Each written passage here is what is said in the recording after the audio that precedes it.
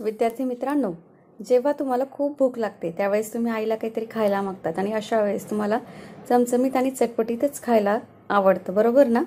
मग या ठिकाणी चित्रामध्ये तुम्हाला मिसळ दिसते बरोबर? या चा ताटामध्ये दही भात सलाद भाजी हे पदार्थ दिसतात. रोजच्या जेवणामध्ये आपण वरण भात तसेच भाज्या कोशिंबीर भाजी पोळी भाजी भाकरी हे सगळं खात असतो. सणवार असेल त्यावेळेस आपण पुरणपोळी आंब्याचा रस कुरडई पापड भजी रात्रीच्या वेळेस कंटाळा आला तर आपण रात्री खिचडीसुद्धा खातो. उपवास असेल त्यावेळेस आपण साबुदाण्याची खिचडी खातो. आणि जेव्हा चिप्स वगैरे बनवायचे असतील तेव्हा आपण चिप्स बाजारातून विकत आणतो. हे चिप्स असतात केळीपासून बनवलेले बटाट्यांपासून बनवलेले. मग विद्यार्थी मित्रांनो सकाळी तुम्हाला ब्रेड बिस्किट चहा बिस्किट दूध बिस्किट हे खायला आवडतं ना? मग हे जे बिस्किट असतात हे मैद्यापासून बनवलेले असतात. दुपारच्या वेळेस तुम्ही कधी कंटाळा आला तर खारे शेंगदाणे फुटाणे सूर्यफूल बिया हे पण खातात. तुमचा वाढदिवस असेल त्यावेळेस आईवडील तुमच्या बड्डेला वाढदिवसाला केक आणतात आणि केक तुम्ही कापून वाढदिवस साजरा करतात. तर हे सगळे बेकरीमध्ये बनवले जाणारे पदार्थ आपल्याला या चित्रात दिसत आहेत नाश्ता करायचा असेल तर जिलेबी फाफडा समोसा कचोरी पाणीपुरी चटपटीत पाणीपुरी आवडते ना तुम्हाला? तर या सगळ्या गोष्टींचा आपण नाश्ता करतो.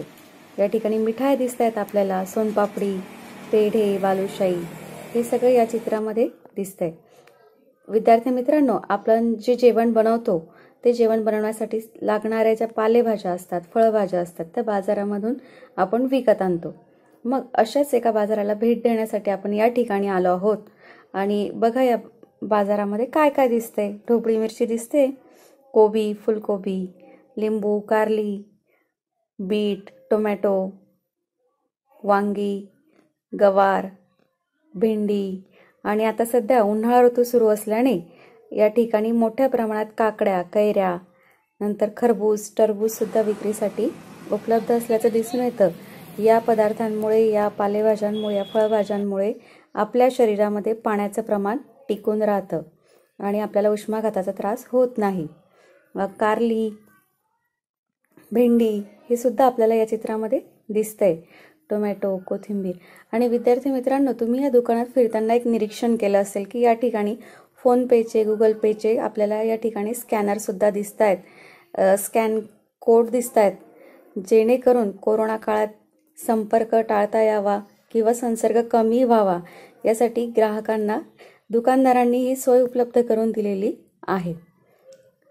तर फळांच्या सुद्धा दुकानामध्ये वेगवेगळ्या प्रकारची फळं आपल्याला विक्रीसाठी उपलब्ध असल्याचं दिसून येतं.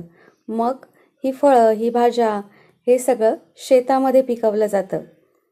आणि त्याद्वारे या फळांद्वारे आपल्याला वेगवेगळे व्हिटॅमिन्स प्रोटीन्स वगैरे मिळतात. हे आपण शिकलो आहोत. या दुकानामध्ये बघा बीट दिसत आहेत भोपळे दिसत आहेत चिवळची भाजी दिसते. तर हे सगळे पदार्थ ह्या सगळ्या पालेभाज्या आहेत या कोणकोणत्या हंगामामध्ये येतात किंवा कोणत्या हंगामात विशिष्ट प्रकारची पालेभाजी येते तिचे गुणधर्म काय?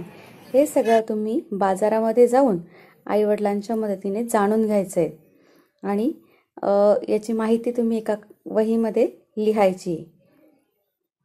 त्याचप्रमाणे फळांचं देखील आहे. फळंसुद्धा वेगवेगळ्या हंगामामध्ये वेगवेगळ्या प्रकारची फळं येत असतात. तर त्या हंगामामध्ये कोणती फळं येतात हे सुद्धा तुम्ही लिहायचं आहे धन्यवाद.